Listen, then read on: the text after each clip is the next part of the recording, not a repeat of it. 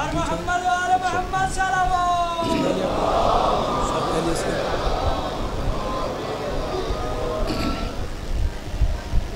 أعوذ بالله السميع العليم من الشيطان اللعين الرجيم. بسم الله الرحمن الرحيم. الحمد لله المعروف من غير رؤية والخالق من غير روية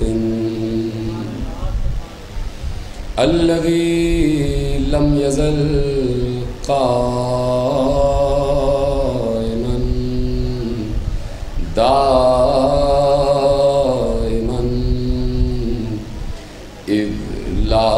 سماء ذات أبراج. ولا ليل داج. ولا بحر ساج. ولا أرض ذات مهاد. ولا خلق ذو اعتماد. والصلاة والسلام والتحية والإكرام على نبي الرحمة وخازن المغفرة وقائد الخير والبركة ومنقذ العباد من الهلكة. سيدنا ومولانا أبي القاسم محمد. وأهل بيته الطيبين الطاهرين المعصومين المظلومين.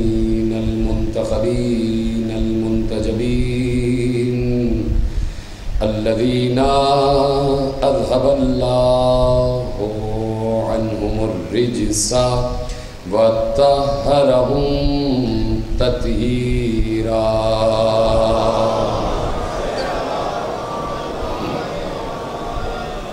أما بعد، فقد قال الله سبحانه وتعالى في محكم كتابه المجيد وفرقانه الحميد وقوله الحق. بسم الله الرحمن الرحيم. وإذا سألك عبادي عني فإني قريب. أجيب دعوة الداع إذا دعان فليستجيبوا لي. وليؤمنوا بي لعلهم يرشدون. صلوات پڑھتے محمد و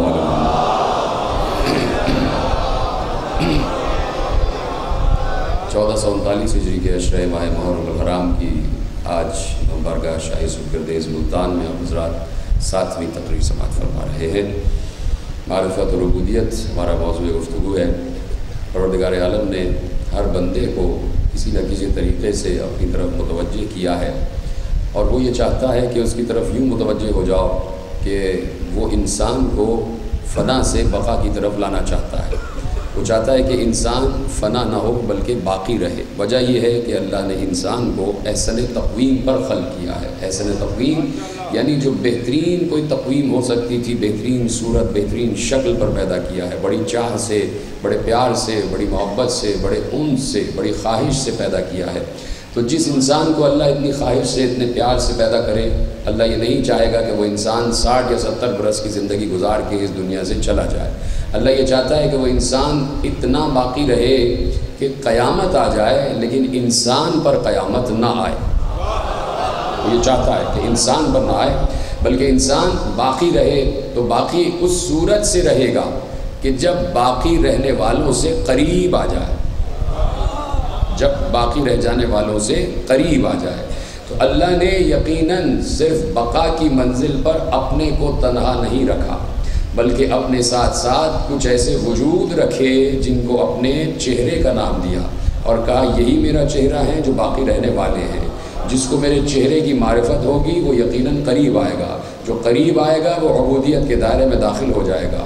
جو عبودیت کے دائرے میں داخل ہو جائے گا وہ پھر بقا کے دائرے میں داخل ہوگا۔ جو بقا کے دائرے میں داخل ہوگا وہ فنا نہیں ہوگا۔ اس لیے کہا کہ آل محمد کے قریب رہو۔ جتنا قریب آ سکتے ہو آ جاؤ۔ کہیں سفر کر رہے ہو، کہیں جا رہے ہو کسی بھی مثال دے رہا ہوں کہ کسی بھی مقام سے دوسرے مقام پر کوئی انسان جاتا ہے، کسی گاڑی پر بیٹھ کر جاتا ہے، ہوائی جہاز پر بیٹھ کر جاتا ہے، یا کہیں کسی ٹرین پر بیٹھ کر جاتا ہے، بیٹھتے بیٹھتے اس کے جسم پر کوئی چونٹی بیٹھ گئی۔ اب جہاں انسان جائے گا، وہاں ساتھ ساتھ یہ چونٹی بھی جائے گی۔ وجہ صرف یہ ہے کہ اس سے متصل ہو گئی، اس کے قریب آ گئی۔ تو کہا یہی ہے کہ آل محمد کے اس لیے قریب آ جاؤ کہ جہاں جہاں آل محمد جائیں گے، پیچھے پیچھے چلتے چلے جانا۔ اور آل محمد سوائے بقا کے کہیں اور نہیں جائیں گے۔ یہی وجہ ہے کہ شروع ہو گئی تقریر۔ یہی وجہ ہے کہ جب آیتیں اتری ہیں اور آیت کی تفسیر ہوئی ہے کہ جس میں اللہ نے کہا کہ وَإِسْتَبَرَّ الَّذِينَ اتَّبِعُوا مِنَ الَّذِينَ اتَّبَعُوا ورأوا العذاب وتقطعت بهم الأسباب وقال الذين اتبعوا لو أن لنا كرة فنتبرأ منهم كما تبرأوا منا کہ جب پیر اپنے مریدوں سے اظہار برات کریں گے اور کہیں گے، آج ہمارا اور تمہارا واسطہ ختم ہو چکا ہے، آج ہم سے دور ہو جاؤ، آج ہم تمہیں کچھ بھی کام نہیں آ سکتے، تو ایسے میں مرید کہیں گے کہ پروردگار ہمیں دنیا میں تھوڑی دیر کے لیے واپس بھیج دے۔ جیسے آج ہم سے یہ دور ہٹ رہے ہیں، ویسے ہی ہم ان سے بھی دور ہٹ جائیں۔ جب یہ آیت اتر آئی تو پوچھا گیا معصوم سے کہ تفسیر کیا ہے؟ کہا، تفسیر یہ ہے، توجہ، کہا، تفسیر یہ ہے کہ میدان محشر ہوگا، اس میں تمام اہل محشر جمع ہوں گے۔ ایک ایک انسان ایک ایک زی نفس موجود ہوگا، سب آ چکے ہوں گے بارگاہ پروردگار میں۔ اور ایسے میں اللہ ندا دے گا، اے اہل محشر، تم میں سے کون ہے جسے میں نے زمین پر اپنا خلیفہ قرار دیا تھا؟ وہ بلند ہو جائے۔ جیسے ہی آواز آئے گی کہ زمین پر میرا خلیفہ کون تھا، وہ بلند ہو جائے، حضرت داؤد کھڑے ہو جائیں گے صفائے انبیاء میں سے۔ آواز دیں گے لبے کیا پروردگار، میں ہوں تیرا خلیفہ، تو نے مجھے خلیفہ بنایا تھا۔ آواز قدرت آئے گی ہاں داؤد، ہم نے تمہیں خلیفہ کہا تو تھا، یا داؤد، انا جعلنا کا خلیفہ فی الارض لیکن اے داؤد، اس وقت ہماری مراد تم سے نہیں ہے، جہاں ہو بیٹھ جاؤ۔ سلامت رہے آپ۔ تو شروع ہو رہی نا، تقریر جہاں ہو وہاں بیٹھ جاؤ۔ ایسے میں پھر آواز قدرت آئے گی۔ اے اہل محشر، تم میں سے کون زمین پر ہمارا خلیفہ تھا جسے ہم نے اپنا خاص خلیفہ مقرر کیا؟ آواز دی۔ تو ایسے میں دائیں طرف سے نور علی ابن ابی طالب طلوع ہوگا۔ آواز آئے گی، پروردگار میں حاضر ہوں۔ اللہ کہے گا ہاں علی اس وقت ہماری مراد تم سے ہی تھی۔ یہ دیکھو، علی کا نور ظاہر ہو گیا۔ اب علی، اب اللہ اہل محشر سے مخاطب ہو کے کہے گا، اے اہل محشر، تم میں سے جس جس نے زمین پر علی کو امام مانا ہوا تھا، جو علی کے قریب تھا، جو علی کے دامن سے وابستہ تھا، آج بھی علی کے قریب جائے، علی کا دامن پکڑے اور جہاں جہاں علی جائے، وہاں وہاں چلتا چلا جائے۔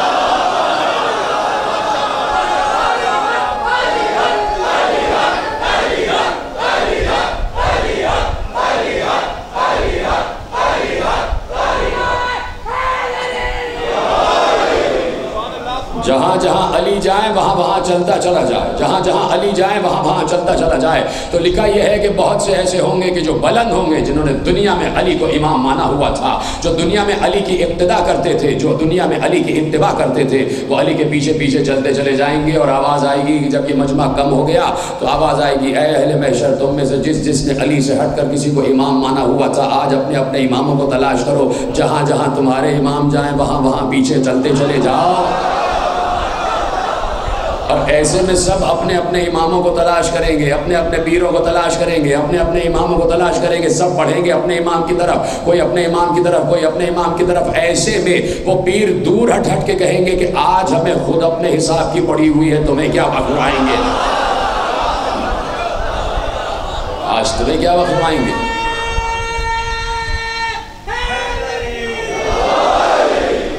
آج ہمیں اپنے حساب کی پڑی ہوئی ہے، تمہیں کیا بخشوائیں گے؟ تو دنیا میں ایسے امام کا انتخاب کرو، دنیا میں۔ اسی لیے سورہ مبارکہ غاشیہ کی آیت میں اللہ نے اشارت فرما دیا تھا کہ عاملت ناصبت تسلا نارن حامیہ۔ تمیدی جملے محفوظ کرتے چلے جائیں، تقریر کو بہت آگے جانا ہے کہ عاملت ناصبت تسلا نارن حامیہ۔ اللہ نے واضح الفاظ میں کہا۔ نوجوان دوست یقیناً محفوظ کر رہے ہیں، تو اس کو بھی محفوظ کر لیں کہ عاملت ناصبت تسلا نارن حامیہ۔ بہت زیادہ کثرت سے، شدت سے عمل عمل کرنے والے ایسے ہوں گے کہ جب وہ میدان محشر میں آئیں گے، اللہ سے کہیں گے، جنت دے دے، عمل کیا تھا۔ اللہ کہے گا، عمل کا نتیجہ تمہارے، عمل کا نتیجہ جنت نہیں، جہنم ہے۔ بڑی آسانی سے سنا۔ عاملت ناصبت تسلا نارن حامیہ زمین پر کثرت سے، شدت سے بہترین عمل کرنے والے۔ کچھ ایسے ہوں گے کہ جب آئیں گے بارگاہ پروردگار میں اپنا استحقاق طلب کریں گے تو اللہ کہے گا، انہیں جہنم میں ڈالو۔ جیسے ہی آیت اتری۔ پوچھا گیا، تفسیر پوچھی گئی، معصوم سے کسی نے پوچھا کہ مولا بات سمجھ میں نہیں آ رہی، کثرت سے عمل کیے ہیں، اچھے عمل کیے ہیں، حقوق اللہ بھی ہیں، حقوق العباد بھی ہیں، پھر جہنم کیسی؟ کا سنو، بات بالکل صحیح ہے۔ قرآن کبھی غلط بات نہیں کہتا، عمل کیے ہوں گے حقوق اللہ بھی حقوق العباد بھی، عبادتیں بھی کی ہوں گی، اچھے فلاح و بہبود کے کام بھی کیے ہوں گے، چہرے سے نت سکھ سے درست بھی رہے ہوں گے، پڑوسیوں کا حقوق بھی رکھے ہوں گے، پڑوسیوں کے فرائض کا بھی خیال رکھا ہوگا، بچوں سے بھی ملے ہوں گے اصلاح رحمی بھی کی ہوگی، معاشرت بھی اختیار کی ہوگی، اچھے اعمال کیے ہوں گے۔ پھر بھی جہنم میں۔ اس لیے کہ دنیا میں اچھے اعمال تو کیے تھے، لیکن غلط امام کا انتخاب کیا ہوا تھا۔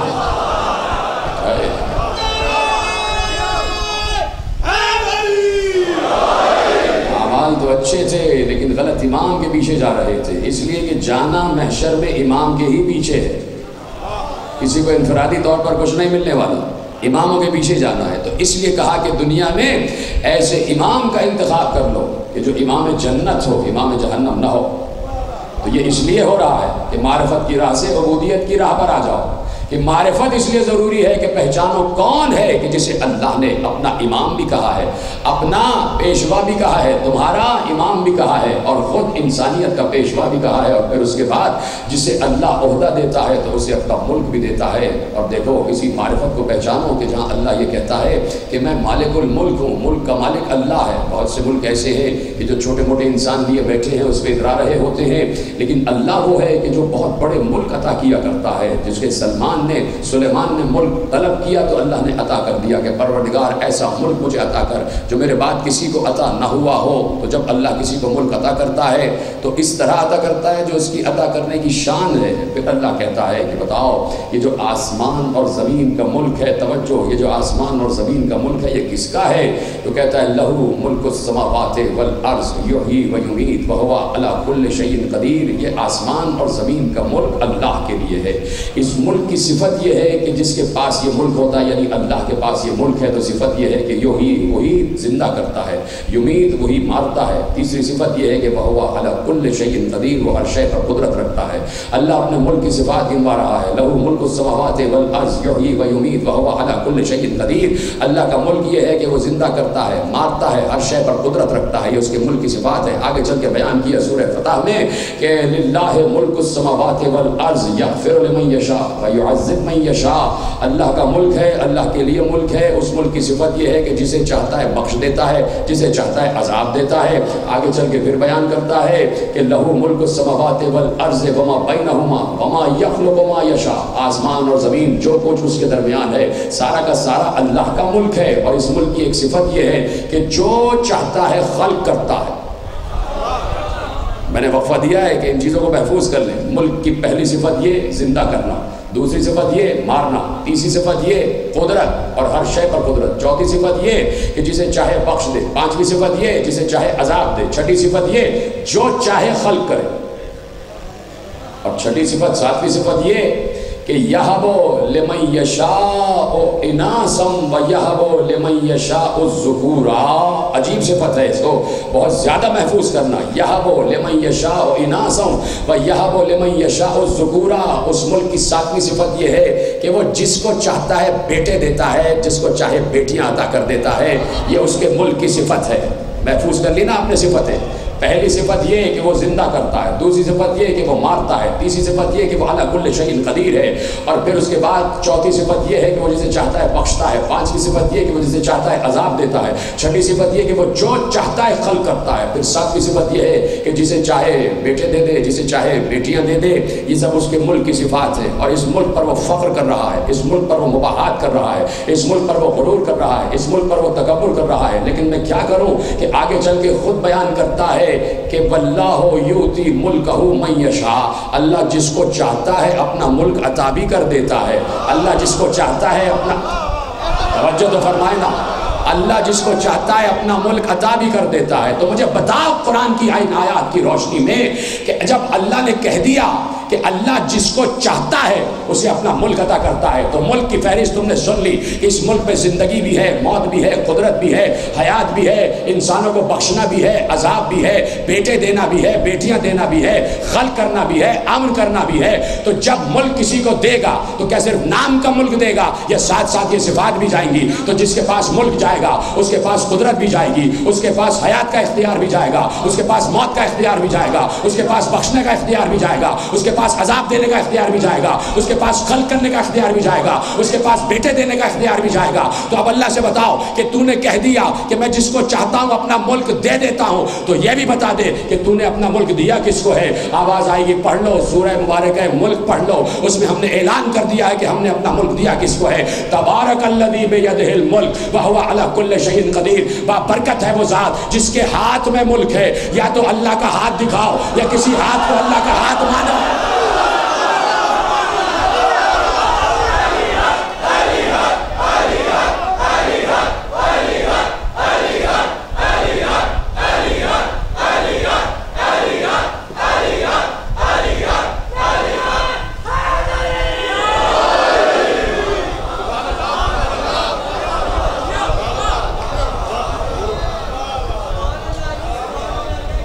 تبارک الذی بیدہ الملک. کر دو کوئی بھی ترجمہ ید کا.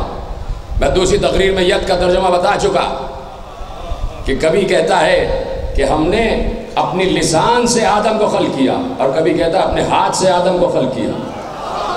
بتا چکا ہوں دوسری تقریر میں کہ جو لسان اللہ ہے وہ ید اللہ ہے، جو ید اللہ ہے وہ لسان اللہ ہے.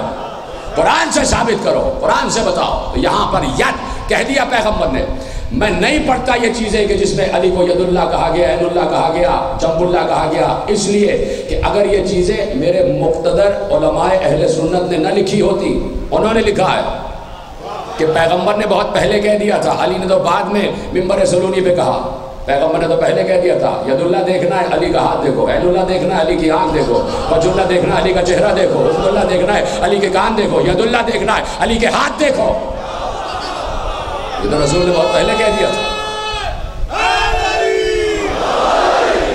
یہ پہلے پیغمبر کہہ چکے تھے بعد میں علی نے اعلان کیا اس لیے کہ علی اگر پہلے کہہ دیتے تو یقیناً گفتگو ہو جاتی کہ اپنی طرف سے کہہ رہے ہیں کوئی دلیل ہے یا نہیں ہے علی نے پیغمبر کی بات کو دہرایا ہے علی نے پیغمبر کی بات کی تصدیق کی ہے اور پھر علی نے کر کے بتایا ثابت کیا علی نے کہ میں ہی عین اللہ ہوں اب پوری تفصیل تھوڑی بتانا ہے۔ ثابت کیا علی نے کہ ہم ہی عید اللہ ہے ثابت کیا علی نے کہ ہم ہی بج اللہ ہے ثابت کیا علی نے کہ ہم ہی حسن اللہ ہے ثابت کیا علی نے کہ ہم ہی وجود خدا کی سب سے بڑی دلیل ہے کیوں؟ اس لیے کہ ملک خدا ہمارے پاس ہے۔ ملک خدا ہمارے پاس ہے۔ اس لیے کہ قرآن نے کہا ہے اس چیز کو محفوظ کیا جائے۔ کہ اگر یہ کہہ دیا ہے میں نے کہ آل محمد کہہ رہے کہ ملک خدا ہمارے پاس ہے۔ تو قرآن نے یہ بات کہی ہے جو میں نے آیت پڑھی کہ واللہ یوتی ملکہ من یشا اللہ جس کو چاہتا ہے ملک دیتا ہے۔ تو میں اور آپ اور ہم سب مل کے شیعہ سنی بھائی یہ کہہ رہے ہیں کہ ملک خدا آل محمد کے پاس ہے۔ کسی کو اعتراض ہے کہ ایسا نہیں ہو سکتا، تو پھر وہ اس کا نام بتائے کہ جو اس کے خیال میں جس کے پاس اللہ کا ملک ہے۔ اس کے خیال میں جس کے پاس اللہ کا ملک ہے، اس لیے کہ اللہ کہہ رہا ہے کہ میں نے اپنا ملک دیا ہے دیا ہے، کسی کو دیا ہے۔ یہ وہ والا ملک نہیں ہے جو جناب سلیمان کے ملک کی بات ہو رہی ہے۔ وہ تو جناب سلیمان نے مانگا تھا۔ مانگا تھا تو دیا۔ سلیمان نے کہا، مجھے دے، تو دے دیا۔ تو وہ تو سلیمان کی مرضی کا ملک دیا۔ جب خود کہہ رہا ہے کہ میں دیتا ہوں، تو اپنی مرضی کا ملک دے گا۔ سلامت رہے آپ، جیسے آپ سن رہے ہیں۔ اور آپ کو خوش رکھے سلیمان کی مرضی کا ملک سلیمان کو دیا۔ خود جب دے گا تو اپنی مرضی کا ملک دے گا۔ اپنی مرضی کا ملک کسے دے گا جسے شب ہجرت اپنی مرضی ہی دے چکا ہے؟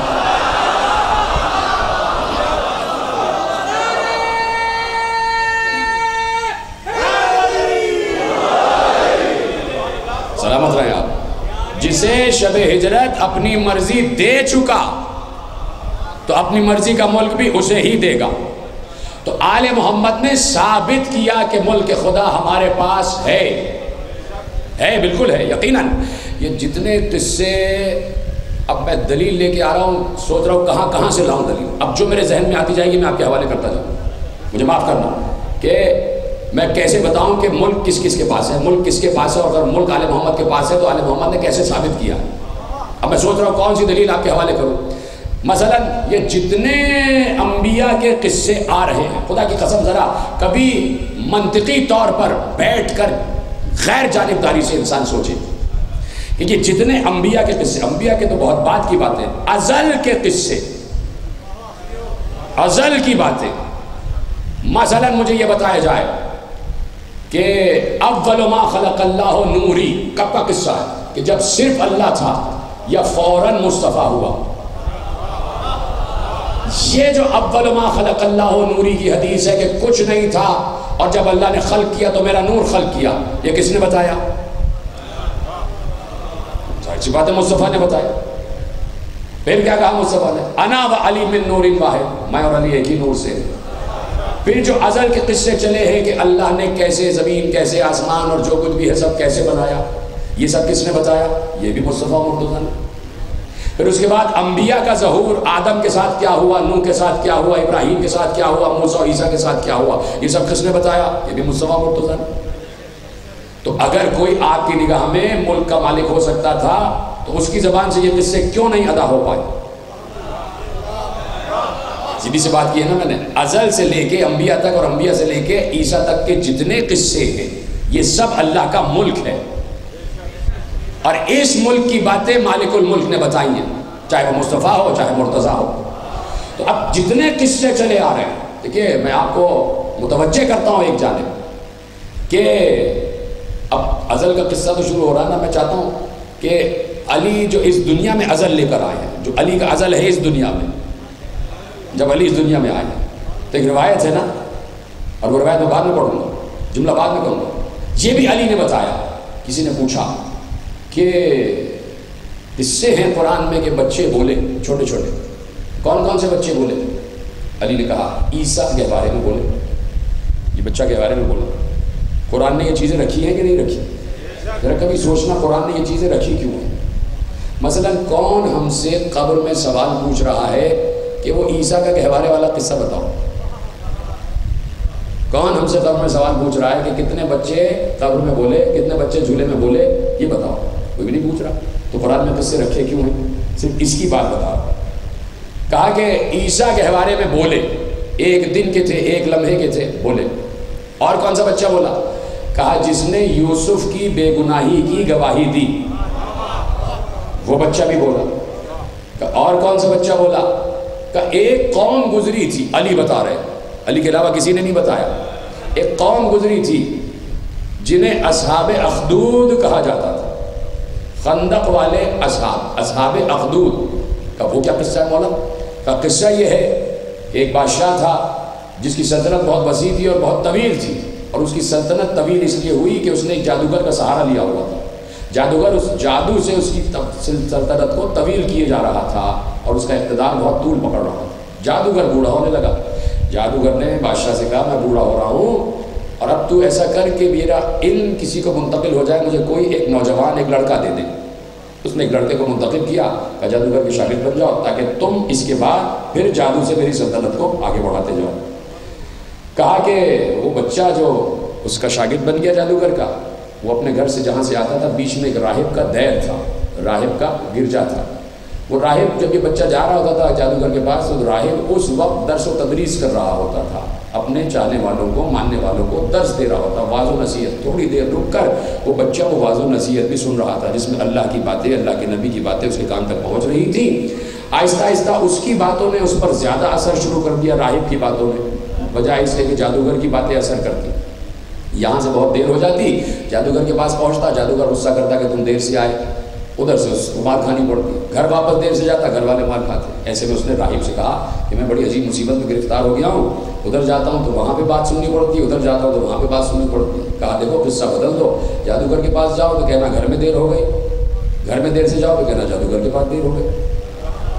مگر تم کس سے سنتے جاؤ۔ تم میری باتیں سنتے جاؤ۔ ہوتے ہوتے اس میں ایک روحانی کیفیت پیدا ہو گئی، اس بچے بڑا روحانی ہو گیا اور مسئلہ یہ ہوا کہ جا رہا تھا ایک دن، کسی راستے سے چلتا ہوا، اس نے دیکھا ایک خونخوار کتا ہے جو کسی کو کاٹنے کے لیے دوڑ رہا ہے اور وہ اس سے بچنے کی کوشش کر رہا ہے۔ اس لڑکے نے اس کتے کو اشارہ کیا کہ دور ہٹ جائے اس کو چھوڑ دے۔ کتے نے اس کی طرف دیکھا، گردن جھکائی، واپس چلا گیا۔ علی بتا رہے کہا، اتنا اس کی زبان میں اثر آ گیا۔ یہ واقعہ لوگوں نے دیکھا اور اس نوجوان لڑکے کی طرف متوجہ ہو گئے کہ یہ تو کوئی بہت بڑا ولی اللہ اسی طرح ایک شخص بہت بیمار ہوا، اس کا علاج نہیں ہو پا رہا تھا، کسی نے پتا وہ بچہ ہے بھائی، اس کی زبان میں اثر ہے چلو اس کے پاس چلتے وہ پہنچے، اس لڑکے نے دعا کی، وہ شخص شفایا ہو گیا۔ یہ قصے آہستہ آہستہ بادشاہ تک پہنچے۔ بادشاہ تک پہنچے تو بادشاہ نے کہا، اس لڑکے کو بلاؤ۔ یہ تو وہی لڑکا ہے جو جادوگر سے جادو سیکھنے آتا تھا۔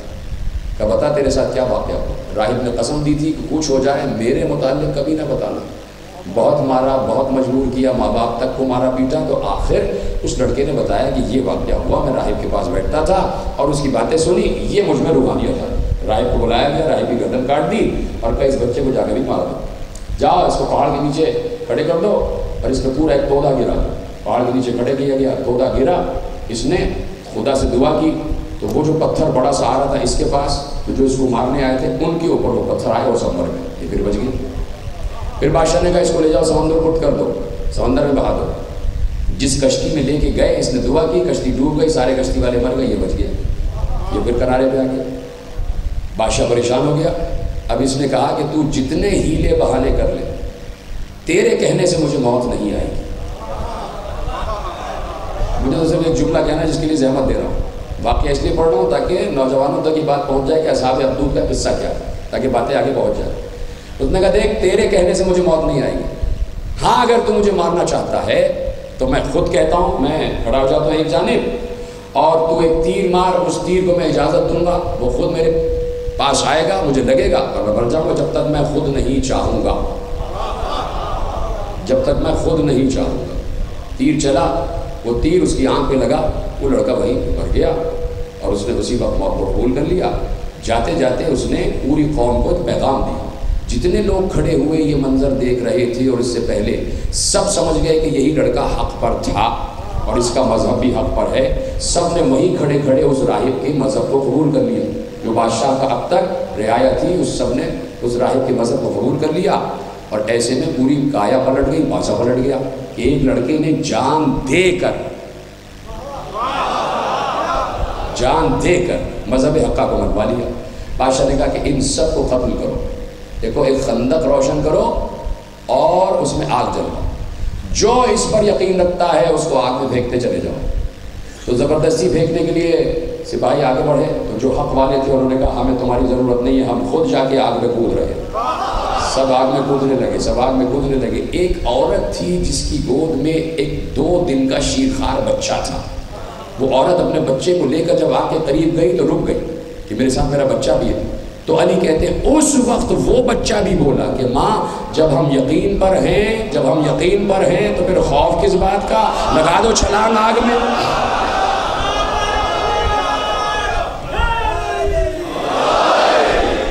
توجہ فرمائی گا کہا، یہ وہ بچے تھے جو جھولے میں، گہوارے میں شیرخاری کے وقت بولے۔ میں نے یہی تو کہا، یہ قصے قرآن میں رکھے کیوں ہیں؟ کون ہم سے منکر نکیر پوچھ رہا ہے؟ کون سا ہمیں حشر میں پوچھا جا رہا ہے کہ کون سے بچے بولے؟ جواب دو، یاد کرو یاد کرو۔ جو سوالات یاد کرنے کے ہیں، وہی یاد نہیں ہو رہے تو یہ کیسے یاد ہو جائیں گے؟ کہا، یہ تھوڑی ہے کہ اس لیے رکھ دیا کہ یاد کرو، قبر میں پوچھا جائے گا، قبر میں پوچھا ہی نہیں جائے گا، پھر رکھا کس لیے ہے؟ کہا، رکھا اس لیے ہے۔ اب میں بتا رہا ہوں کس لیے رکھا ہے۔ ابو طالب چلے۔ مدینے سے مکے سے سفر کرتے ہوئے شام پہنچ گئے۔ سفر تجارت پہ جا رہے تھے۔ ایسے میں ایک راہب کی نگاہ ابو طالب پر پڑی۔ راہب نے سر سے لے کر پیر تک ابو طالب کو دیکھا۔ گھر سے باہر نکلا پیچھے پیچھے چلتا رہا چال کو بھی دیکھ رہا ہے ڈھال کو بھی دیکھ رہا ہے رفتار کو بھی دیکھ رہا ہے گفتار کو بھی دیکھ رہا ہے چہرے کو بھی دیکھ رہا ہے شمائل کو بھی دیکھ رہا ہے ہمائل کو بھی دیکھ رہا ہے اٹھنا بھی دیکھ رہا ہے بیٹھنا بھی دیکھ رہا ہے پیشانی بھی دیکھ رہا ہے رخسار بھی دیکھ رہا ہے شانہ بھی دیکھ رہا ہے ہاتھ بھی دیکھ رہا ہے قدم بھی دیکھ رہا ہے آنکھیں بھی دیکھ رہا ہے کان بھی دیکھ رہا ہے گفتگو کا انداز بھی دیکھ رہا ہے ایک بار جب بہت کچھ دیکھ لیا تو رکا رک کر پوچھتا ہے یہ بتائیے کہاں کے رہنے والے ہیں کہاں مکے کے کہا مکے میں کس جگہ کے کہا جہاں پر مختار کعبہ، مختار مکہ رہتے ہیں۔ اچھا یہ بتائیے، آپ عبداللہ ہیں؟ سلامت رہے۔ آپ عبداللہ ہیں کہا نہیں؟ عبداللہ میرے بڑے بھائی تھے، انتقال فرما گئے۔ اچھا اگر آپ عبداللہ نہیں ہیں تو عمران تو ضرور ہیں۔ عمران تو ضرور ہے کہ ہاں میں عمران ابو طالب ہوں۔ کہا، بس، میں آپ ہی کی تو تلاش میں تھا۔ مجھے یقین تھا کہ حضرت عبداللہ اس دور میں زندہ نہیں ہوں گے۔ اور آپ نے بتا دیا کہ عبداللہ چلے گئے۔ اور اب میں آپ کو بتاتا ہوں، یقیناً عبداللہ کی آغوش میں جو بچے نے پرورش پائی ہے، وہ وقت کا نبی ہے۔ اب آپ جب جائیں مکے، تو اس نبی کو میرا سلام کہیے گا۔ اور سلام کرنے کے بعد کہیے گا، اگر قسمت نے موقع دیا تو میں خود حاضر ہوں گا، آپ کے ہاتھوں پر بیعت کروں گا، کلمہ پڑھوں گا۔ اور سنیے جب مصطفیٰ کو سلام کر لیجیے گا تو مرتضیٰ کو بھی میری طرف سے سلام کہیے گا، علی کو بھی میری طرف سے سلام، علی کو بھی سلام کہیے گا،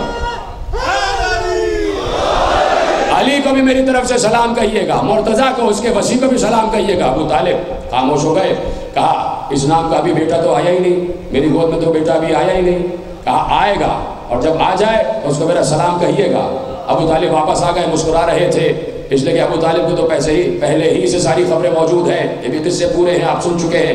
واپس آ گئے، مکے آ گئے، تیرہ رجب آ گئی۔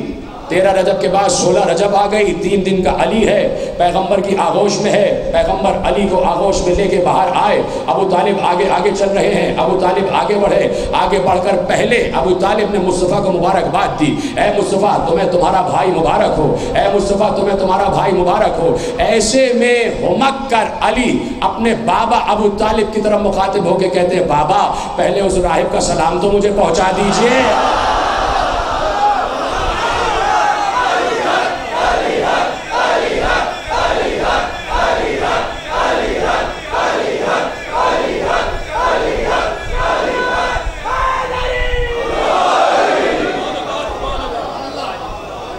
توجہ فی آپ نے کہ اس لیے رکھ دیے ہیں قصے کہ اگر اس روایت پر علی کی کسی کو یقین نہ آئے تو پوچھنا، عیسیٰ کیسے بولے؟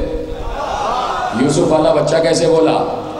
اخدود والا بچہ تو کوئی بڑا، کوئی صاحب مرتبہ بچہ نہیں تھا، ایک چھوٹی سی آگوش میں، ایک معمولی سی آگوش میں دو دن کا بچہ تھا، وہ کیسے بولا؟ تو جب یہ بول سکتے ہیں، یہ بول سکتے ہیں، جو سب کے سب جملہ پہنچے گا، آپ تک یقیناً پہنچے گا، خدا آپ کو سلامت رکھے۔ جب یہ بول سکتے ہیں جو سب کے سب ابن تراب ہیں، تو ابو تراب کیوں نہیں بول سکتا؟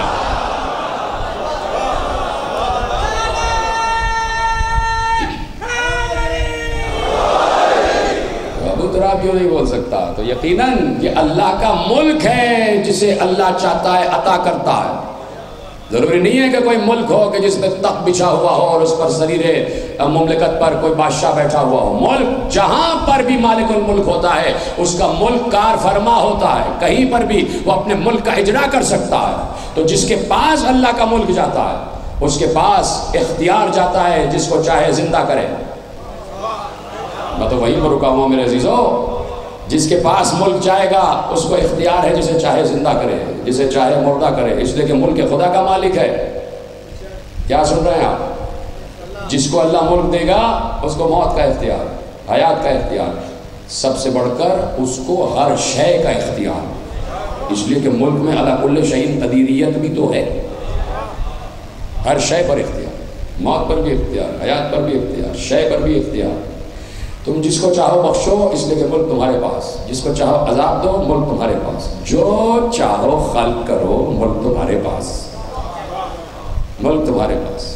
اور جملہ دوں، جس کو چاہو جتنے بیٹے دو، ملک تمہارے پاس۔ سلامت رہے جس کو چاہو جتنے بیٹے دو، اس لیے کہ ملک کی صفت یہ ہے کہ جسے چاہے بیٹے دے، جسے چاہے بیٹیاں دے۔ یہ ملک کی صفت ہے۔ تو اب جہاں ملک جاتا ہے، وہاں اختیار اور صفت جاتی ہے۔ ادھر متوجہ ہو جائیں آپ حضرات۔ اور بالکل تقریر آخری مراحل میں مڑ رہی ہے، لیکن چاہتا ہوں کہ گفتگو کرتے ہوئے آگے بڑھیں۔ ہم میری طرف متوجہ رہیے گا۔ جہاں ملک جاتا ہے، وہاں اختیار جاتا ہے۔ اللہ بھی یہی چاہتا ہے کہ جسے ہم نے اپنا ملک دیا ہے، تم ان کے قریب رہو اور مجھے ایسے پکارو کہ جیسے میں پکارنے کا حق چاہتا ہوں، جیسے میں چاہتا ہوں، ویسے مجھے پکارو۔ میں نے جن کو وسیلہ بنایا ہے، جن کے لیے میں کہتا ہوں کہ ولی اللہ الاسماء الحسنہ فدعو ہو بہا ہر حسین نام اللہ کے لیے ہے، اللہ کو انہی ناموں سے پکارو۔ تو دیکھو، یہ تمہارے فائدے میں ہے کہ اگر تم ان ناموں سے مجھ سے مخاطب ہوگے تو یہ تمہارے فائدے میں ہے یہ نام، ہر نام اپنی جگہ، توجہ، ہر نام اپنی جگہ اسم اعظم ہے، ہر نام اپنی جگہ اسم اعظم ہے۔ تو اگر ہم نے تمہیں یہ اسماء اسما ہائے اعظم دیے ہیں، تو صرف اس لیے دیے ہیں کہ یہ تمہارے لیے بڑے کام کے ہیں۔ تم تو انسان ہو، تمہیں تو بہت زیادہ ان کی ضرورت ہے۔ ہم نے تو جانوروں تک کو یہ اسم ہائے اعظم سکھائے ہوئے تھے۔ جانوروں نے کام لیا اس سے، اور جانوروں نے بڑے بڑے کام لیے جانوروں کو بڑا شعور ہوتا ہے۔ جانوروں کی معرفت بعض اوقات انسانوں سے زیادہ ہوتی ہے۔ جملہ دوں اگر آپ میری طرف متوجہ ہیں کہ جانوروں کی معرفت بعض اوقات زیادہ ہوتی ہے، وجہ صرف یہ ہے کہ اللہ جانور کو معرفت دے کے بھیجتا ہے اور انسان سے تقاضا کرتا ہے کہ تم خود حاصل کرو۔ بڑا تحقیقی جملہ تھا جو آپ تک پہنچ گیا، یقیناً۔ داد دی یا نہ دی، اس کی کوئی پرواہ نہیں، لیکن جملہ پہنچ گیا۔ جانوروں کو اللہ ودیت کرتا پہچان دے کے بھیجتا۔ اور انسانوں سے تقاضا کرتا ہے کہ تم خود حاصل کرو۔ وجہ یہ ہے کہ جانور کو عقل نہیں دی ہے، انسان کو عقل دی ہے۔ جہاں عقل جاتی ہے، وہاں اللہ کا تقاضا شروع ہو جاتا ہے۔ عقل کو بروئے کار لاؤ، پہچانو، میں کون ہوں؟ عقل کو بروئے کار لاؤ، پہچانو، میری پہچان کون ہے؟ توجہ۔ عقل کو بروئے کار لاؤ، پہچانو، میری پہچان کون ہے؟ میری دلیل کون ہے؟ میرے ہونے کی آیات کون ہے؟ یہ اللہ نے جانوروں کو شعور دیا ہوا۔ مثلا کتنی عجیب بات ہے۔ میں نے روک دی روایت۔ اس لیے کہ آپ کو پہلے متوجہ کر لوں اپنی طرف۔ جو موومنٹس ہو رہی ہیں، آپ اس کو دیکھیں، آپ چھوڑ دیں، میری طرف دیکھتے رہیں۔ کہ یہ ایک عجیب بات ہے کہ آپ نے بڑے اچھے طریقے سے یہ قصہ سنا ہے۔ اور ایک لفظ کہوں گا آپ سمجھ جائیں گے۔ جناب یعقوب آئے، صحرا میں آئے۔ سارے بھیڑیوں کو جمع کیا۔ سارے بھیڑیے جمع ہو گئے۔ جناب یعقوب نے کہا، تم میں سے کون ہے جس نے میرے بیٹے یوسف کو کھایا ہے؟ یاد آ گیا قصہ؟ سنا ہوا قصہ ہے۔ ایک بڑا بھیڑیا آگے بڑھا کہ یا نبی اللہ، آپ پر سلام، آپ کی ضروریت پر سلام، آپ کے اجراک پر سلام۔ ہم حیوانات پر اللہ نے نبی اور ان کی آل کے خون کو حرام قرار دیا ہے۔ یہ جانور کا شعور آپ نے دیکھا۔ ہم حیوانات پر اللہ نے نبی اور آل نبی کی، کے خون اور گوشت کو حرام قرار دیا۔ تو جانور کا شعور وہ بھی ہے، وہاں سے آتا ہے۔ خود اللہ ودیت کر کے بھیجتا ہے۔ مثلا ایک اور قصہ سن لیجیے وہ بھی قصہ بڑا مشہور ہے۔ میرے اور آپ کے امام امام محمد تقی علیہ السلام والسلام کا قصہ ہے۔ ان کے زمانے کا قصہ ہے۔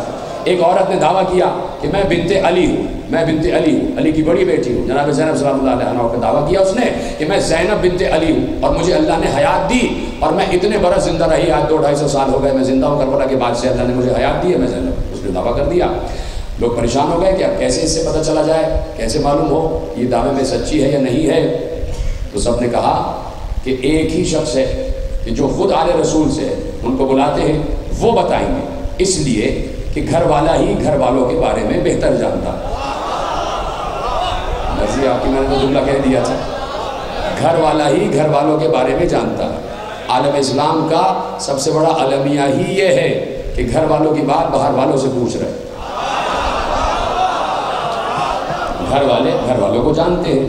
ہاں اگر کوئی باہر والا قرب کی منزل پر، معرفت کی منزل پر، عبودیت کی منزل پر اتنا قریب آ جائے کہ پہچان لے اور گھر والے خود کہہ دیں کہ تم باہر کیوں کھڑے ہو؟ تم سلمان ہو، منا حل البیت ہو گئے ہو گھر میں آ جاؤ۔ وہ علیحدہ بات ہے۔ لیکن کہا کہ گھر والا گھر والے کو بہتر جانتا ہے۔ گھر کے قصے گھر والوں سے سمجھ لیتے ہیں، بلایا جائے۔ میرے امام کو بلایا گیا۔ کیا معاملہ؟ ہے کا معاملہ یہ ہے کہ یہ خاتون دعویٰ کرتی ہے کہ یہ زینب بنت علی ہے۔ دیکھا سر سے لے کر پیر تک مسکرا دیے۔ کہ آل محمد کی تو بہت سی نشانیاں ایک نشانی مثلا یہی ہے کہ حیوانات پر آل رسول کا خون گوشت حرام ہے۔ حیوانات کا شعور بتا رہا ہوں۔ حیوانات پر خون اور گوشت آل رسول کا حرام ہے۔ کہا کہ اے بادشاہ خلیفہ، تیرے پاس ایک کٹہرا ہے جس میں خونخوار درندے یعنی شیر بندھے ہوئے ہیں۔ چلو سب کو وہی لے کے چلتے ہیں اور اس عورت کو اس کٹہرے میں ڈال دو، جو بھوکے شیر ہیں، ان کے کٹہرے میں ڈال دو۔ اگر شیروں نے اس کو نہیں کھایا، تو یہ دعوے میں سچی ہے۔ کھا گئے، دعوے میں جھوٹی ہے۔ سب لے کے پہنچے، سامنے کٹہرا تھا۔ چار پانچ شیر خونخوار دہاڑ رہے تھے، پنجے ان کے نکلے ہوئے تھے، منہ ان کے کھلے ہوئے تھے۔ بھوکے شیر تین چار دن کے، انہوں نے دیکھا اتنی غذا آ رہی ہے، اور اچھلنا شروع کر دیا۔ ایسے میں بادشاہ نے کہا، خلیفہ نے کہا، کٹہرے کا دروازہ کھلواؤ اور اس عورت کو کٹہرے کے اندر بھیجو۔ عورت نے کہا، رک جاؤ رک جاؤ، اب جلدی کیا ہے؟ یہ بھی تو دعویٰ کر رہے ہیں کہ یہ بھی آل رسول ہیں۔ ہاں، یہ بھی تو دعویٰ کر رہے ہیں کہ آل رسول ہیں۔ ذرا ان سے تو کہو، پہلے یہ جائیں، اپنے دعوے کی دلیل پہلے یہ دیں۔ تو جو امام ہوتا ہے، منصوص من اللہ ہوتا ہے، ملک خدا کا مالک ہوتا ہے، جو جانوروں کو پالنے والا نہیں، بلکہ بنانے والا بھی ہے جس کے سامنے ساری خلقت ہوئی ہے، جس کے سامنے ہر خلق و امر کا معاملہ طے پایا ہے، اسے کیا پریشانی ہے؟ کہ کھول دو کٹہرے کا دروازہ۔ کٹہرے کا دروازہ کھلا، میرا امام شان رسالت سے چلتا ہوا، علم و بردباری سے چلتا ہوا بادشاہ کائنات کی طرح چلتا ہوا جھولتا ہوا، کیف کے عالم میں چلتا ہوا، اس کٹہرے میں داخل ہوا۔ جیسے ہی کٹہرے میں داخل ہوا، شیر حیرانی سے دیکھنے لگے۔ سب نے اپنے اپنے پنجے اندر کیے، منہ کو بند کیا۔ ایک بار اپنی گردنوں کو جھکایا، پائے امامت پر سجدہ کیا۔ پائے امامت پر سجدہ کیا۔ پائے امامت پر سجدہ کیا۔ جانوروں نے بتایا، تمہارا سجدہ کچھ اور ہے اور ہمارا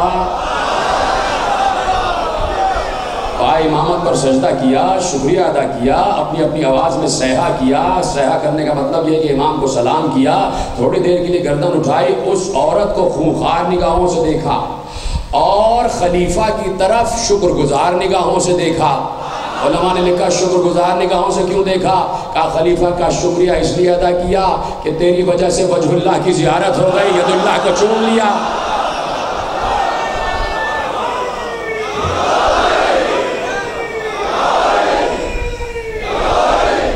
یہ ہے جانوروں کا شعور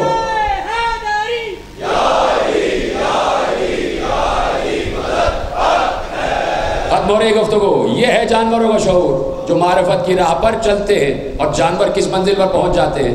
بعض اوقات ختم ہو رہی ہے بات اور قصہ تمہارے حوالے کر رہا ہوں۔ اسی کے لیے زحمت دی کہ تم دیکھو گے کہ بعض اوقات جو میں بتانے جا رہا ہوں کہ اس قصے میں عجیب ایک نقطہ چھپا ہوا ہے۔ چلے رسول چلے۔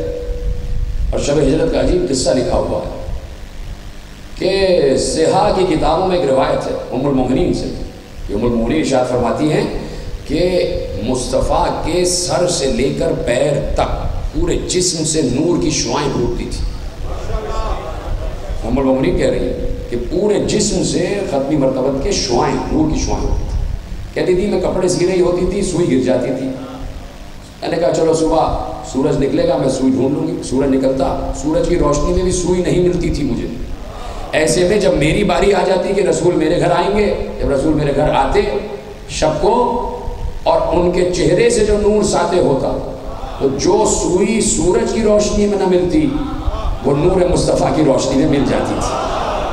اتنا نور اتنا نور۔ یعنی مصطفیٰ جہاں جا رہے ہیں، نور ساتھ جا رہا ہے۔ میرے جملے ضائع نہ ہو پانچ یا سات منٹ کی زحمت۔ جہاں مصطفیٰ جا رہے ہیں، وہاں روشنی جا رہی ہے۔ یعنی اگر کوئی انسان اس وقت تصور کرے کہ جب یہ سب کچھ ایجادی نہیں ہوا جسے بجلی کہتے ہیں، جسے بلب کہتے ہیں، اس وقت اندھیرے میں ایک شخص بیٹھا ہوا ہے مدینے کی کسی گلی میں اور گلی کے ایک کونے سے دوسرے کونے میں دیکھ رہا ہے اور اس نے دیکھا، دیکھتے دیکھتے کہا، وہ دیکھو، وہ مصطفیٰ جا رہے ہیں۔ لوگ پوچھے، تجھے کیسے پتا؟ کہا، بھائی، نور جا رہا ہے۔ پوری ایک شمع رسالت جا رہی ہے۔ پوری ایک شمع ہے جو چلتی چلی جا رہی ہے۔ اتنا نور ہے، اتنا نور ہے۔ تو مصطفیٰ جہاں بھی ہیں، پہچانے جاتے ہیں۔ مصطفیٰ جہاں ہیں، چل رہے ہیں، نور ساتھ ہے اٹھ رہے ہیں، نور ساتھ ہے، بیٹھ رہے ہیں، نور ساتھ ہے، کھا رہے ہیں، نور ساتھ ہے، پی رہے ہیں، نور ساتھ ہے۔ یہاں تک کہ سو گئے، نور ساتھ ہے۔ یہاں تک کہ چادر اوڑھ کے سو گئے، تو چادر سے نور چھن چھن کے باہر آتا تھا۔ یعنی اگر کوئی مصطفیٰ کو سوتے ہوئے بھی دیکھ رہا ہے تو پہچان جاتا تھا کہ یہ مصطفیٰ ہی سو رہے ہیں۔ کیوں؟ اس لیے کہ چادر سے نور باہر آ رہا ہے، چادر سے نور باہر آ رہا ہے۔ چالیس کافر رات بھر کھڑے رہے کہ مصطفیٰ سو رہے ہیں۔ اس لیے کہ چادر سے نور باہر آ رہا تھا۔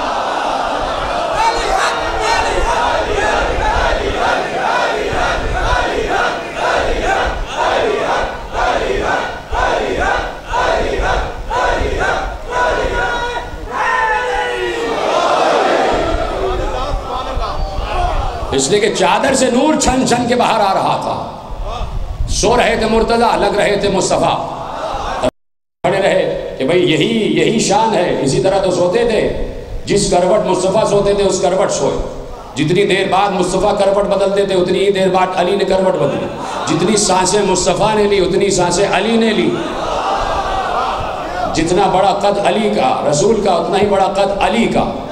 جہاں علی کے قدم، وہی رسول کے قدم۔ جہاں رسول کے ہاتھ، وہی علی کے ہاتھ۔ جو رسول کا انداز، وہی علی کا انداز۔ اس لیے کہ وہی سونے کا انداز، وہی چادر سے چھن چھن کے نور باہر آ رہا ہے۔ مصطفیٰ نے سلا دیا اور چلے گئے گھر سے باہر۔ کہا کہ صبح آ کے مجھ سے ملنا۔ شب ہجرت نہیں پڑھ رہا، صرف ایک قصہ ہے جو آپ کے حوالے کرنا۔ چلے گئے باہر۔ سامنے کافر کھڑے دیکھ رہے ہیں، مصطفیٰ نظر ہی نہیں آ رہے۔ اس کا مطلب ہے کہ مصطفیٰ کی غیبت مصطفیٰ کے لیے نہیں تھی، کافروں کے لیے تھی۔ کافر انہیں نہیں دیکھ پا رہے تھے۔ مصطفیٰ سب کو دیکھ پا رہے تھے تو آج کا بھی غیبت والا ہمیں دیکھ رہا ہوتا ہے، ہم ان کو نہیں دیکھ پا رہے۔ ہیں غیبت ہمارے لیے ان کے لیے نہیں ہے، وہ بھی یہاں بھی اس وقت موجود ہے، ہم سب کو دیکھ رہے ہیں۔ خوش ہو رہے ہیں کہ میرے جد کے فضائل پر کیسے چھلتے ہوئے چہرے اس سامنے بیٹھے ہوئے کیسے خوش ہوتے ہوئے چہرے سامنے بیٹھے ہوئے سب کے نام وہ اپنی ہتھیلی پر لکھ رہے ہیں۔ تو مصطفیٰ چلے گئے سامنے سے۔ پہنچ گئے غار سور کی طرف۔ ادھر سے اللہ نے کہا، جبریل ادھر آؤ، اسرافیل ادھر آؤ۔ دونوں آ گئے۔ کہ میں نے تم دونوں کو بھائی بنایا ہے نہیں؟ کہ جی پروردگار، ہم دونوں کو آپ نے بھائی بنایا۔ کہ تم دونوں ازل سے بھائی ہو، اب تک ہو یا نہیں؟ کہا ہے۔ کہ میں تم سے پوچھنا چاہتا ہوں، اخوت تمہاری، محبت تمہاری، برادرانہ محبت کس منزل پر ہے؟ کہ پروردگار تم سوال پوچھ، ہم جواب دیتے ہیں، تاکہ معلوم ہو جائے ہماری برادرانہ اخوت، محبت، بھائی کی کس منزل پر ہے؟ کہ دیکھو، یہ سوال کا جواب دو۔ تم دونوں کو بھائی بنایا ہے، تو تم میں سے کون ہے جو دوسرے بھائی کے لیے اپنی عمر وقف کر رہا ہو؟ کوئی ہے جو اپنی ساری عمر دوسرے کو دے دے، دونوں خاموش ہو گئے۔ اللہ نے کہا، مجھے جواب مل گیا۔ میں سے کوئی تیار نہیں ہے کہ اپنی عمر دوسرے کو دے دے۔ اے جبرائیل، ذرا نیچے جاؤ، بستر ہجرت پر دیکھو۔ ایک بھائی اپنے بھائی کے لیے جان لٹا رہا ہے۔ جاؤ اور سرحانے کھڑے ہو جاؤ۔ احیاء العلوم، امام غزالی لکھ رہے ہیں کہ جاؤ اور سرحانے کھڑے ہو جاؤ اور جا کے فخر و مباحات کرو، علی کے سرانے، علی کی منقبت پڑھو۔ علی کی منقبت پڑھو، علی کی مدہ کرو، علی کی ثنا کرو۔ جبرائیل اترے، استاد کے سرانے کھڑے ہو گئے۔ اب شاگرد استاد کی مدہ کر رہا ہے، کیسے؟ مم مثل کا یبن ابی طالب۔ اے ابو طالب کے بیٹے، تمہارے جیسا تو کوئی بھی نہیں ہے۔ اے ابو طالب کے بیٹے، تمہارے جیسا تو کوئی بھی نہیں ہے۔ یہ وہی جبریل ہے کہ جو کچھ دن پہلے آیت لایا تھا کہ لیسا کمس ہی شے، اللہ جیسا کوئی نہیں ہے۔ وہی آیت سنانے والے جبرائیل لائے سکم اس لیے شے والی آیت سنانے والے جبرائیل، علی کو مخاطب کر کے کہہ رہے ہیں، یا علی، تم جیسا کوئی نہیں، ہاتھ جوڑو جبریل کے سامنے جبریل ذرا سوچ سمجھ کر گفتگو کرو۔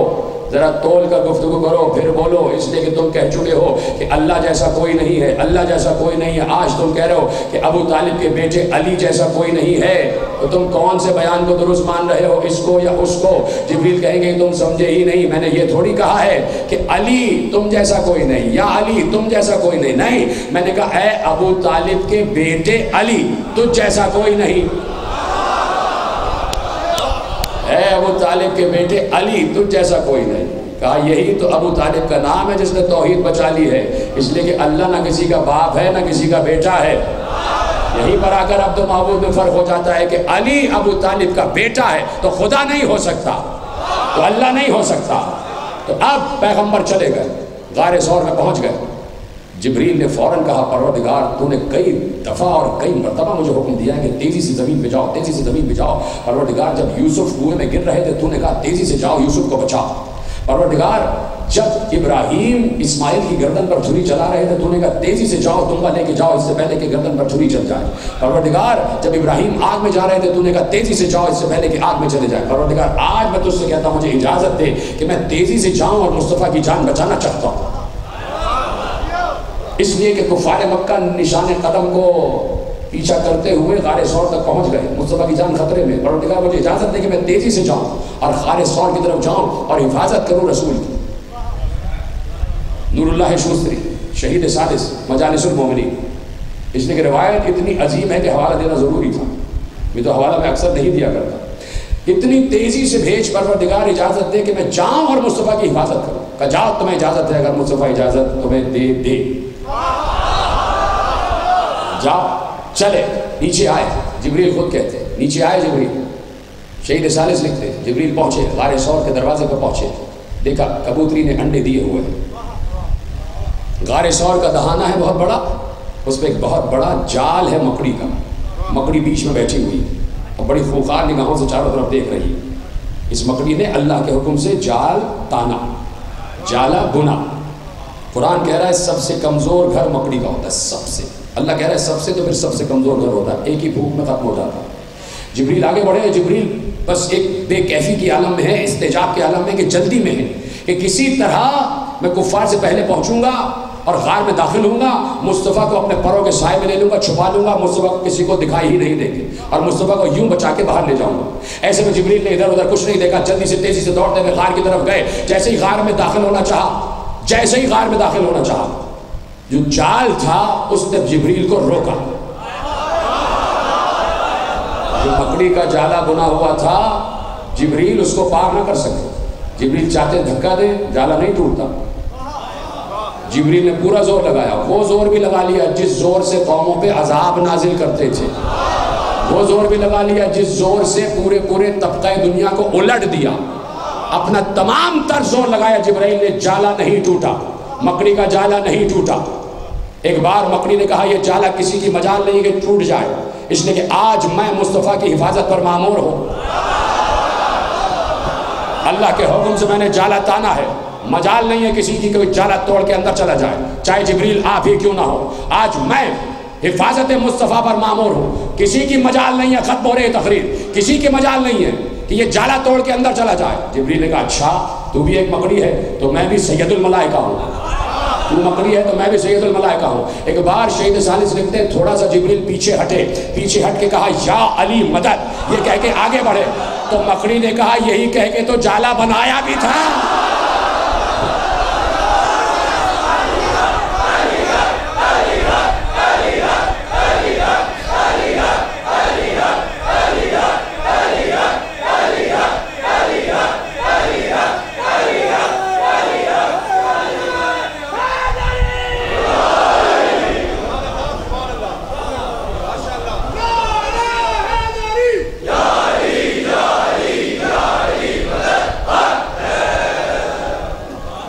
اجیبو دعوت الداع اذا دعان جو میرے بنائے ہوئے طریقے پر مجھے پکارتا ہے، میں اس کی مدد کرتا ہوں۔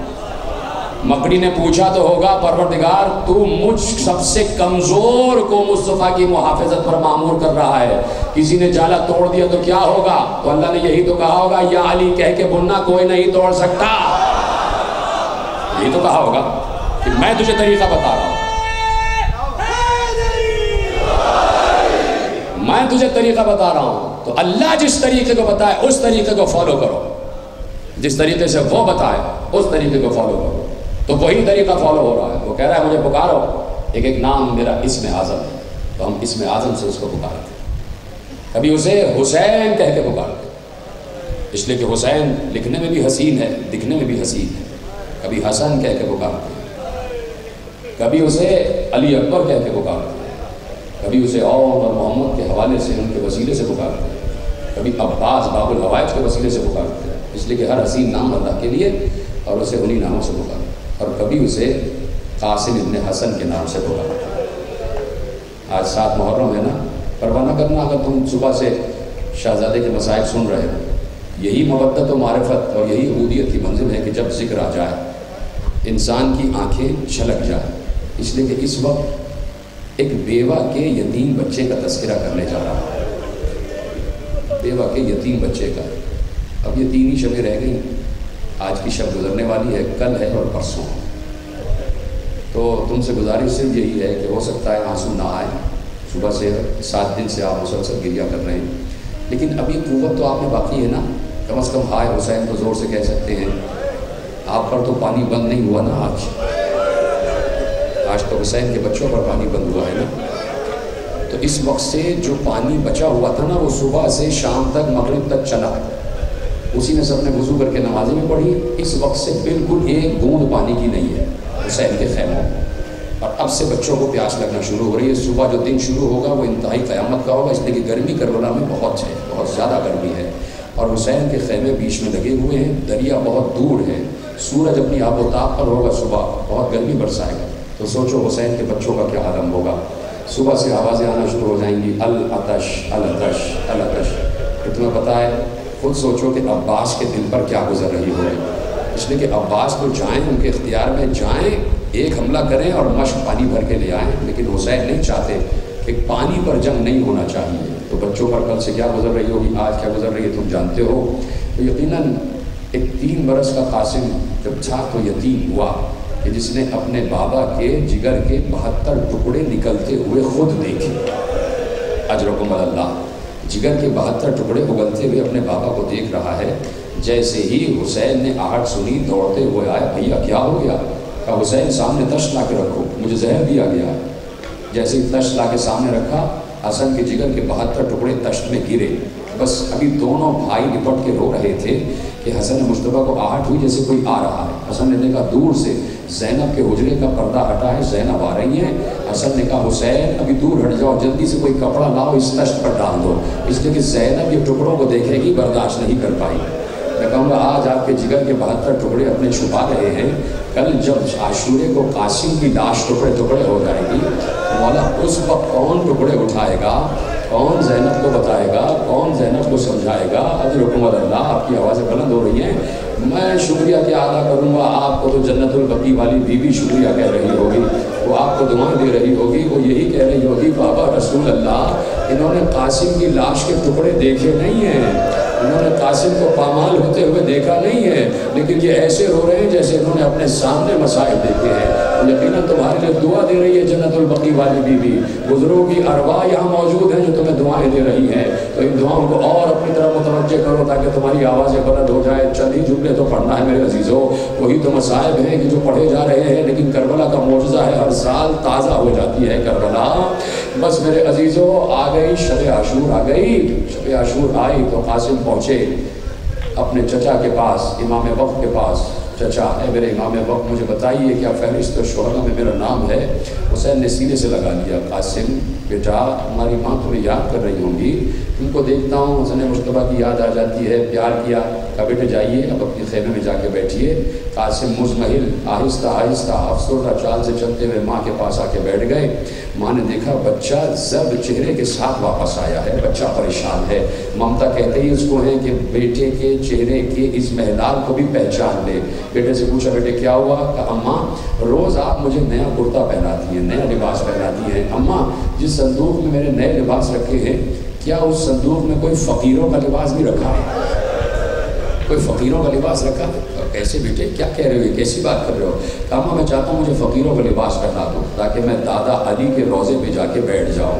اور جا کے دادا علی سے کہوں کہ، دادا، کیا میرے بابا حسن نے مجھے اسی لیے مانگا تھا کہ جب کربلا میں قربانیوں کا وقت آئے تو میرا چچا حسین مجھے جانے نہ دے پریشان ہو گئی ہوں میرا باپ۔ بیٹے کا ہاتھ پکڑا، بی بی زینب کے خیمے میں آئیں اور آگے کہتی ہے، بنت علی، میں چاہتی ہوں آپ میرے ساتھ امام حسین کی خدمت میں چلیں چلی یہ تینوں بیویاں دونوں بیویاں اور قاسم چلے، حسین کے خیمے میں آئے۔ جی بہن زینب کیوں آئی؟ کہا، بھابھی آپ سے کچھ بات کرنا چاہتی ہوں جی بھابھی میں فروا، کیا کہنا چاہتی ہوں کہا میرے وقت کے امام، میں آپ سے صرف اتنا پوچھنا چاہتی ہوں، قاسم کا نام فہرست شہدا میں ہے یا نہیں؟ کل ہماری قربانی پیش کی جائے گی یا نہیں؟ تو اب حسین سے برداشت نہ ہوا۔ اس لیے کہ اب تو بیٹے کو تسلی دے دیتے تھے۔ اب ماں خود سامنے آ گئی ہے، بہن خود سامنے آ گئی ہے۔ تو بس آہستہ سے کہا کہ بھابھی میں فروا آپ کو کیا بتاؤں؟ جس طرح سب کے لاشیں آئیں گے نا، قاسم کی لاش ویسے نہیں آئے گی۔ قاسم کی لاش ویسے نہیں آئے گی، قاسم کی لاش ٹکڑوں میں بٹ کر آئے گی گٹھلی میں لگ کر آئے گی۔ بس اسی وقت قاسم خوش ہو گئے کہ ہاں میرا نام بھی ہے، صبح عاشور آ گئی قاسم کا چہرہ سرخ ہے، قاسم بار بار جاتے ہیں، چچا سے پوچھتے ہیں، اجازت، چچا بار بار سینے سے لگاتا ہے، تم میرے بھائی حسن کی یادگار ہو، تم اس کو سونگتا ہوں تو حسن مصطفیٰ کی خوشبو آتی ہے، بیٹا بیٹھ جاؤ، کچھ دیر رک جاؤ۔ ایک بار مزمحل آئے ماں کے پاس کا اماں، بڑی مصیبت سے چچا اجازت نہیں دے رہے جیسے ہی لفظ مصیبت سنا، ام فروا کا چہرہ سرخ ہو گیا، خوشی کے مارے کہتی ہے، قاسم ذرا آستین الٹو، آستین الٹی تو اس میں سے ایک تعویذ نکلا کہا، یہی تعویذ تو ہماری مصیبت کا حل ہے۔ تعویذ کو کھولا تعویذ کو پڑھا، کہا، چلو، اپنے آقا کے پاس مجھے لے چلو۔ قاسم کا ہاتھ پکڑ کے ام فروا حسین کے خیمے میں آئیں۔ کہا، اب آپ سے کچھ کہنے نہیں آئیں، صرف یہ دکھانے آئی ہوں، یہ تحریر پہچانتے ہیں۔ یہ تحریر پہچانتے ہیں۔ ایک بار تحریر کو سونگا کہا یہ میرے بھیا حسن کے ہاتھ کی لکھی ہوئی تحریر ہے۔ تحریر کو کھولا، حسین کے کلیجے پر چھری چل گئی۔ اس نے کہ لکھا تھا، یہ خط ہے حسن ابن علی کا، حسین ابن علی کے نام۔ ہے حسین، جب کربلا میں قربانیاں پیش کی جا رہی ہوں، قاسم کو میری طرف سے قربان کرنا، قاسم کو روکنا نہیں، تمہاری آوازیں بلند ہو جائیں۔ بس آخری جملہ کہنے جا رہا ہوں کہ قاسم کو روکنا نہیں، قاسم کو میری طرف سے قربان کر دینا۔ حسین نے کہا، اب میں مجبور ہو گیا۔ میرے بھیا کا امر آ گیا، میرے امام کا امر آ گیا۔ اب میں قاسم قاسم، تمہیں روکوں گا نہیں۔ قاسم، جاؤ، جانے کے لیے تیار ہو جاؤ۔ قاسم، جانے کے لیے تیار ہوئے۔ خود حسین نے قاسم کو نیا کرتا پہنایا۔ خود حسین نے ایک گلابی رنگ کا امامہ اٹھایا۔ گلابی رنگ کا امامہ۔ اس وقت جب شہادت کی طرف جا رہا ہے، تو گلابی رنگ کا امامہ پہنایا۔ خود ایک ایک پیچ باندھتے جاتے تھے۔ باندھتے جاتے تھے، حسن مصطفیٰ کو یاد کرتے جاتے تھے، روتے جاتے تھے۔ آخر میں دو شملے ادھر اور ادھر لٹکا دیے۔ زینب نے پوچھا، بھیا، سب کے امامے باندھتے ہو، یہ قاسم کو عجب ڈھا ڈھنگ سے باندھا ہے۔ ایک شملہ ادھر، ایک شملہ ادھر، یہ کیا وجہ ہے؟ کہا، شملے نہیں لٹکائے، قاسم کے سر پر سہرا سجایا ہے۔ قاسم کے سر پر سہرا سجایا ہے۔ قاسم جانے لگے، حسین آگے بڑھے، قاسم کے گریبان میں ہاتھ ڈالا، بچے کے کرتے کے گریبان کو چاک کر دیا۔ بچے کا گریبان پھاڑ ڈالا، زینب چیخی، ایک ایک بیوی بی رونے لگی، خیمے میں کوہرام برپا ہو گیا کہ حسین نے بچے کا گریبان کیوں چاک کیا ہے؟ زینب آگے بڑھی، بھیا گریبان کیوں پھاڑ دیا قاسم کا؟ کہا، بہن، تمہیں پتہ نہیں ہے، چاک گریبانی یتیمی کی نشانی ہے۔ جس بچے کا گریبان چاک ہوتا ہے، تو سمجھ جاتے ہیں بچہ یتیم ہے۔ جب قاسم اس عالم میں جائے گا، تو شاید کسی کو یتیم پر رحم آ جائے کہ یہ بچہ یتیم آ رہا ہے۔ شاید میرا قاسم بچ جائے۔ خیمے میں کوہرام برپا ہو گیا، قاسم چلے، ختم ہو گئی گفتگو۔ راوی لکھتا ہے، قاسم کسی کے قابو میں نہیں آ سکتے تھے۔ وہ جنگ کی ہے قاسم نے، اس لیے کہ اپنے بابا حسن کی یاد دلا رہے تھے کہ میرے بابا حسن نے سلو کی تھی تو تم جان ہی نہ سکے کہ میرا بابا کتنا شجاع تھا۔ آج میں تمہیں بتاؤں گا کہ میرے بابا کی شجاعت کیا ہے۔ قاسم کسی کے قابو میں نہیں آ رہے تھے۔ قاسم کسی کے قابو میں نہیں آ رہے تھے۔ ایک بار گھوڑے کو دوڑاتے دوڑاتے قاسم کا پاؤں رکاب میں پھنسا، ایسے ہی رکاب میں پھنسا۔ قاسم کے جوتے کا تسمہ کھل گیا، تیرہ برس کا بچہ چاہتا ہے کہ تسمہ باندھ دیا جائے۔ بس یہ موقع، عجیب، خطرناک موقع نکل آیا۔ اس لیے کہ قاسم کا جھکنا قیامت ہو گیا۔ جیسے ہی گھوڑے کی زین پر بیٹھے بیٹھے قاسم جھکے کہ اپنے جوتے کے تسمے کو باندھے، یہ موقع غنیمت تھا۔ کسی نے ایک گرز اٹھایا، قاسم کے سر پر مارا۔ تیرہ برس کے بچے کا سر شگافتہ ہو گیا۔ کیا سن رہے اب کیا کچھ سننے کے لیے مزید رہ گیا ہے؟ تیرہ برس کے بچے کا سر شگافتہ ہو گیا۔ یہ موقع اور غنیمت تھا۔ کسی کی تلوار چلی، قاسم ان کا دایاں شانہ کٹ کے زمین پر گرا۔ کسی نے نیزہ مارا پش سے لگا، شکم سے باہر آ گیا۔ ایک بار پہلو سے نیزہ چبا، دوسرے پہلو سے باہر آیا۔ بچہ زمین پر گرا۔ راوی کہتا ہے عجیب بچہ تھا۔ جتنے شہید گر رہے تھے، سب کہہ رہے تھے، آقا مدد، مولا مدد، امام مدد، ابا عبداللہ مدد۔ یہ بچہ گرا تو کہا، اماں میں گر گیا۔ اماں میں گر گیا۔ حسین نے عباس کو دیکھا۔ عباس نے حسین کو دیکھا۔ دونوں بھائیوں نے حملہ کیا۔ قاسم کی لاش لینے پہنچے۔ ادھر کی فوجیں ادھر ادھر کی فوجیں ادھر۔ میرے امام زمانہ نے کہا، سلام ہو قاسم تجھ پر کہ تیری ادھر کی پسلیاں ادھر ادھر کی پسلیاں ادھر۔ حسین آگے بڑھے۔ قاسم کی لاش کے ٹکڑے جمع کیے۔ روتے جاتے تھے۔ حسین نے محسوس کیا جیسے کوئی اور بھی ہے جو قاسم کی لاش کے ٹکڑے اٹھا رہا ہے۔ اب جو دیکھا دیکھا حسن مشتبہ کی روح۔ ارے میرے لال قاسم، اے میرے بھیا حسین، میرے لال کی لاش۔ کو